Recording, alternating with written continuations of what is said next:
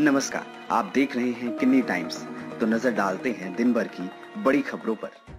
उत्तर प्रदेश के गाजियाबाद में दो लड़कियों ने साथियों की मदद से एक लड़के की बीच सड़क पर सरेआम पिटाई कर दी।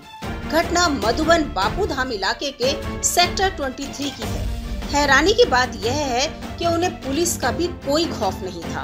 वहाँ मौजूद पुलिस ने उन्हें रोकने की कोशिश की, लेकिन फिर भी वे युवक को पीटने के लिए बार बार आगे आ रही थी। घटना का वीडियो भी अब सोशल मीडिया पर वायरल हो गया है। वीडियो में देखा जा सकता है कि कैसे लड़का लड़कियों की मार से बचने के लिए इधर उधर भाग रहा है। इस बीच एक युवक उसे बचाने की कोशिश भी करता है, लेकिन लड़कियाँ फिर भी नहीं रुकती। वे लड़के को पीटती रहती हैं और गालियाँ भी देती हैं। इस बीच बीच बचाव के लिए पुलिस आ जाती है, लेकिन लड़कियों के सिर पर भूत सवार था।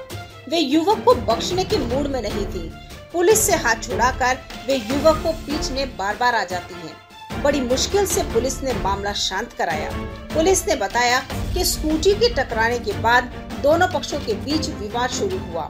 विवाद इतना बढ़ा कि लड़कियों ने लड़के को पीटना शुरू कर दिया। लड़कियों के साथी भी लड़के को पीटने में उनका साथ दे रहे थे। फ़िलहाल, दोनों पक्षों में से किसी ने भी इसे लेकर मामला दर्ज नहीं करवाया है। जैसे ही मामला दर्ज करवाया जाता है, कार्रवाई की जाएगी। तमाम बड़ी खबरों के लिए बने रहिए किन्नी टाइम्स के साथ। वीडियो को लाइक करें, चैनल को सब्सक्राइब करना ना भूलें।